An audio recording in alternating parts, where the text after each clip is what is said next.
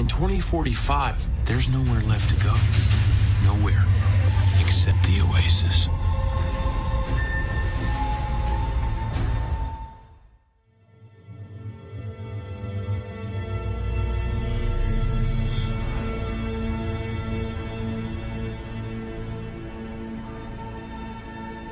I was born in 2025. But I wish I'd grown up in the 1980s. Like all my heroes. I live here in Columbus, Ohio. In 2045, it's still ranked the fastest growing city on Earth. But it sure doesn't seem like it when you live in the stacks.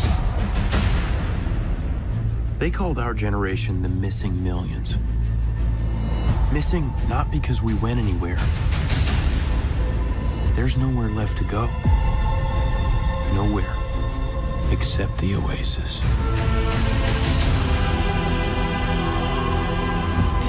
Place that feels like I mean anything. A world where the limits of reality are your own imagination.